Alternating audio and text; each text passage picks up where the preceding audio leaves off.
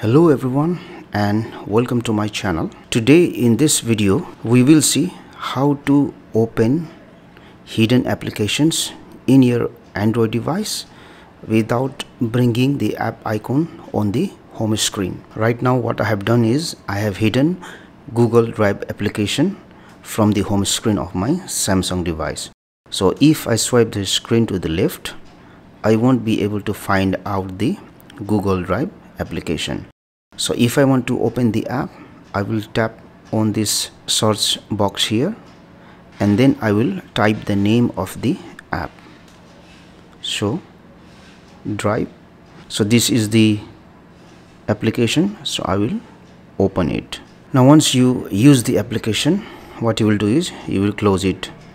And once you close the application, if you again go to this search box you can see the history of the application. You can see these were the two applications that you have used.